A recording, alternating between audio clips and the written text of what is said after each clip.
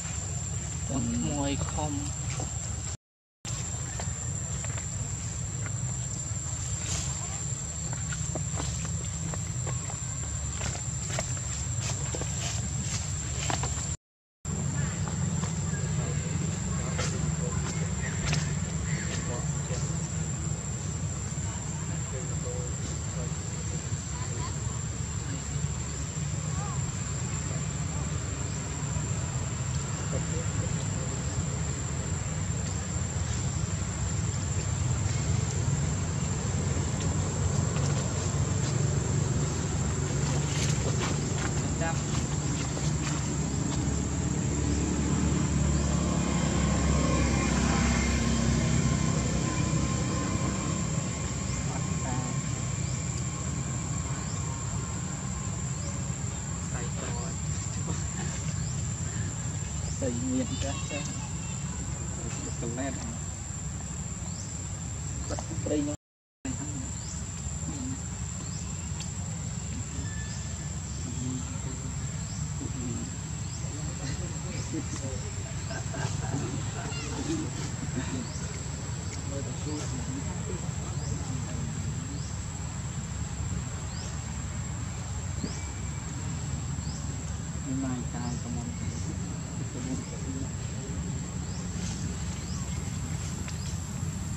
Thank you.